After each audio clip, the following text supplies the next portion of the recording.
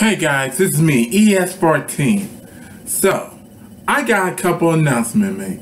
First of all, we're going to be uploading something called WWE Random Matches, where I just make a random match for y'all. And you can decide what type of match should be and stuff next time. And you can also decide which um which diva or um superstar it's going to be and what type of match it's going to be. The next announcement is tomorrow it's going to be Super Smash Monday.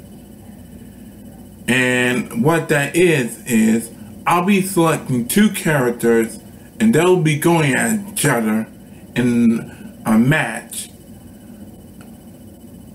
of a five stock match, no items, excuse me, no items,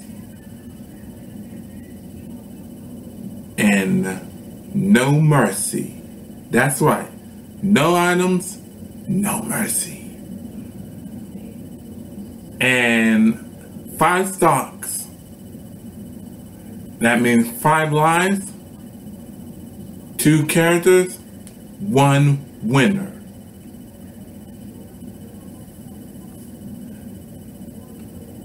So, if you want to see that, subscribe to the channel.